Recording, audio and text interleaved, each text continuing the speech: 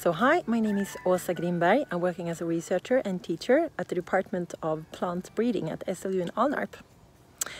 Um, I'm working with seeds, that is one of the major raw materials for our food. And more precisely, I'm doing research on the genetic regulation of seed quality. Today I'm out here in the field outside Svalöv and I'm harvesting faba bean seeds of a lot of different genotypes um, actually, it's 250 different genotypes. Um, and I will tell you more about how our project hopefully can um, contribute to an increased cultivation of legumes and the use of those in food in Sweden.